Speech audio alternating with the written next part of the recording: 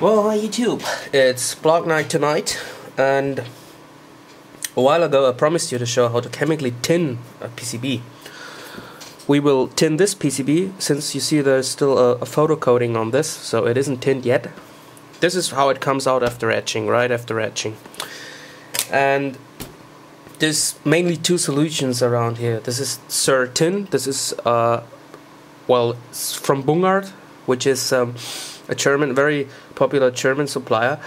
Um, and it has three components. This is how it comes, and it is supposed to be used with two liter of water, two liters of water. Um, use distilled water. I really can recommend you to use distilled water with with this stuff.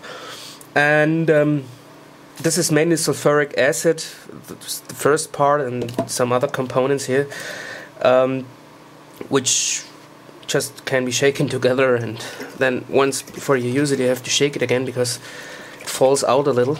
But not as much as um, uh, the, the Conrad stuff. Um, this is the other solution. This is from Seno Glanztin that's the Conrad stuff and this stuff is really better and you will get a lot more out of this compared to the price. So I can recommend this one. So how does it work at first, of course, you must clean your PCB, which we do with this stuff here, acetone. No, I don't really know the English phrase, phrase for that, sorry. but the surface must be really, really clean. If it isn't clean, the result will be poor. So, you see this? Right, okay.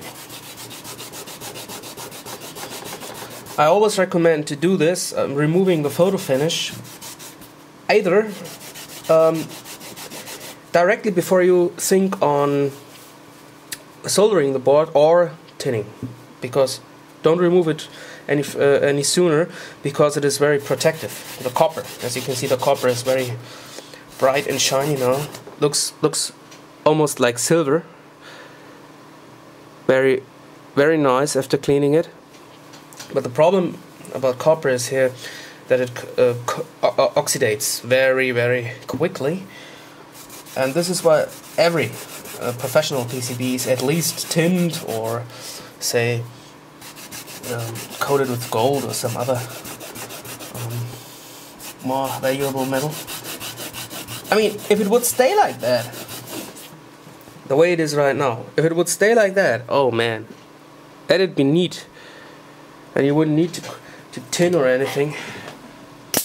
Uh, it's still dirty now. Uh, there's fossils on that. So, so, yeah. And don't touch it so there is no fat and other stuff on the surface. That's very important. And then you can go and tin it right away. Shaking. You can use this cold. I mean, once you've made the suspension, you can use it cold. Uh, works almost immediately, as you can see. Oh yeah, but we're using about that much. That's alright.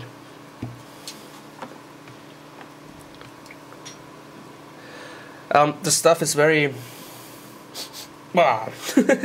it smells uh, smells awful, but um, it doesn't fume out. I mean, there's no gases involved. You shouldn't really touch the stuff, but let's just say, and it smells a little awful, but it's not as though it's stinking up the room, so it's not not not as bad as that. So if you did it right. Um, and the suspension. I mean this is a very potential stuff because I made it twice as strong as it may be and, and, and I guess I, I get at least 30 40 50 euro cards out of one of those packages. I mean this is really good stuff. I mean this is it already. I mean the way it looks you can really you can take it out already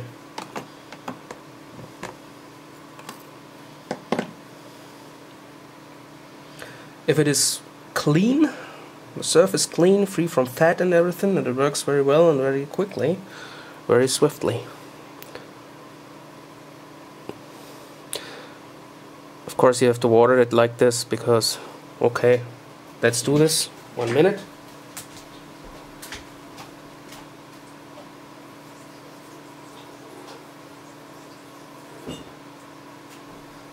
So, here it goes again. This is how it looks like. And it stays like that.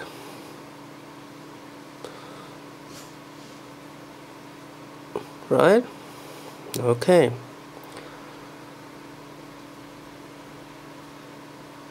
So I've shown you this too. And what I do with this suspension is I just fill it back in. So this is just about it. And see you soon.